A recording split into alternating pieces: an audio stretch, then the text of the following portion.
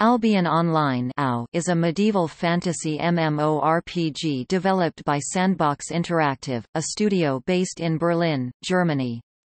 During the beta stages of development, players were able to purchase Founders Packs to gain access to the closed beta play tests which were run intermittently by Sandbox Interactive, typically after an interval of a few months of development.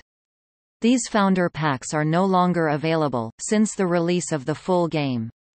Albion Online removed its free-to-play model for various reasons on December 30, 2015. Since its release on July 17, 2017, Albion Online now offers a selection of starter packs, which grant players access to the game and offer a varying amount of gold to get started. Once a player purchases any of the starter packs, they will be granted open-ended access to the game with no extra mandatory fees.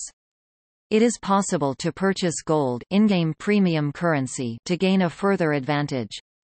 Players can also purchase membership for a limited amount of time without the benefits of the starter packs.